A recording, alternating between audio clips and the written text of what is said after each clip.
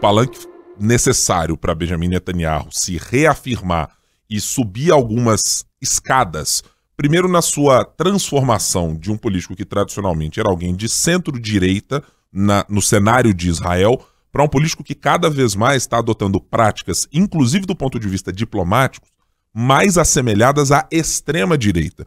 Né? A, a maneira como Israel se portou ao longo dos últimos anos, do ponto de vista diplomático, de negociar e tentar acordos com países do entorno de Israel, tinha muito mais a ver com uma necessidade de é, abertura democrática para colocar em novos termos, para tentar diminuir as tensões sobre o Estado de Israel, que vive majoritariamente sob tensão, exatamente porque não tem o mesmo reconhecimento de quem é, tem perspectivas antisionistas e de outras religiões que estão colocadas naquilo. Então, Benjamin Netanyahu sempre precisa de algum espaço para se apresentar para o mundo como um defensor, especificamente do Estado de Israel, o que o é, mas também para o seu consumo de público interno, que tem desconfianças severas sobre a maneira como ele tem lidado com esta política. É, as pesquisas de opinião que são trazidas a respeito de Israel e sobre a avaliação do primeiro-ministro, elas sempre colocam em dúvida não exatamente a atuação do primeiro-ministro quando defende o Estado de Israel, mas a maneira como tem sido feita. E me parece que era isso que o governo brasileiro tentou, ou que o presidente Lula tentou, ao apresentar a sua fala. Mas é impossível, todas as vezes que for mencionada a palavra Holocausto, não se lembrar das piores coisas que a humanidade foi capaz de viver. Então é sempre uma comparação que ela precisa carregar uma enormidade de fatos correlatos a ela para você calibrar o discurso e dizer: eu estou mencionando uma questão muito específica.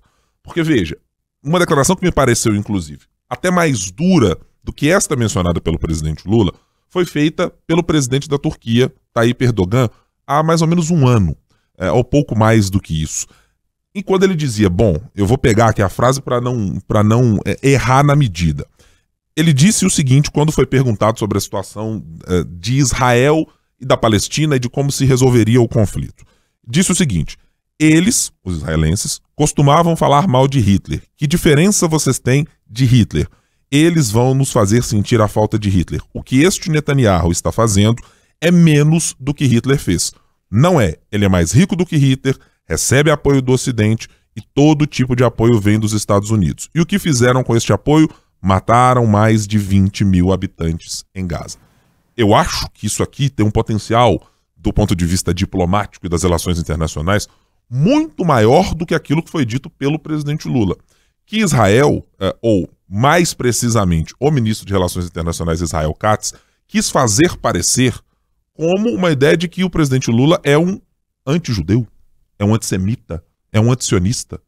Não é nada disso. Nós sabemos, evidentemente, que pelas manifestações políticas históricas do presidente Lula, você pode dizer que talvez ele tenha uma tendência a olhar mais para a perspectiva palestina do conflito do que necessariamente por aquilo que Israel faz. Isso eu tendo a concordar plenamente. Mas não me parece que o presidente tenha, como usou a expressão o Estado de Israel, é, cruzado a linha vermelha porque o presidente não é, me parece, uma pessoa desta natureza. O que não quer dizer, repito, que usar uma comparação com o Holocausto não seja problemático. Nós podemos passar aqui um, uma enormidade de tempo discutindo se tratamos todos os genocídios da história da humanidade na mesma proporção que tratamos o Holocausto. Se outros que aconteceram em Ruanda, se outros relacionados à escravidão, se todos esses merecem a mesma atenção e se historicamente foram tratados. Isso é uma outra temática. O fato é que, de maneira consolidada, no Ocidente, nós temos a percepção do quão duro, do quão triste e trágico é, é tratar do Holocausto. Eu vou dar, abrir um pequeno espaço para dar um relato pessoal. Eu estive em Auschwitz há algum tempo com a minha família, com o meu pai e com um irmão. É das coisas mais assustadoras que você pode ver e imaginar que aquilo foi feito de maneira deliberada.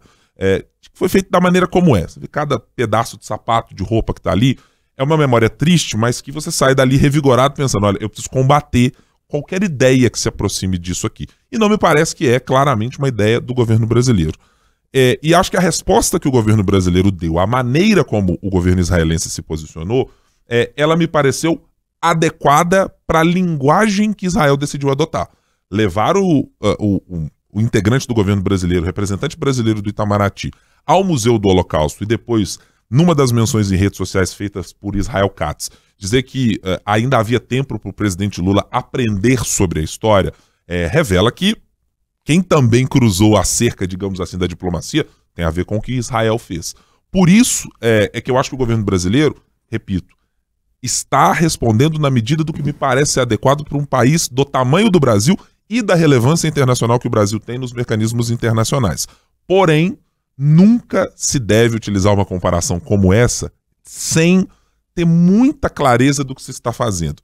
Concordo plenamente com a Marina. Se o debate que o governo brasileiro gostaria de ver colocado no cenário internacional é de levar, como já foi mencionado por outras cortes internacionais, o risco de que Israel esteja empregando práticas genocidas à luz do direito internacional, isso se esvaiu. Ninguém está olhando exatamente por essa perspectiva quando se olha pela chave do que está fazendo o Brasil e Israel. E isso é um problema, porque quer dizer que a mensagem da diplomacia brasileira, feita pelo chefe da diplomacia brasileira, que é acima de tudo o presidente da República nas suas falas, não conseguiu fazer. Então acho que é um erro para somar-se a mais um ou mais vários que a gente falava lá atrás. Lembra? No começo do podcast dizia: o governo Lula tem um problema de comunicação. Acho que esse caso escancarou mais uma vez um problema, talvez que seja exclusivo do governo Lula, mas no fundo ele é um problema de comunicação de usar uma expressão tão ruim de comparação como essa.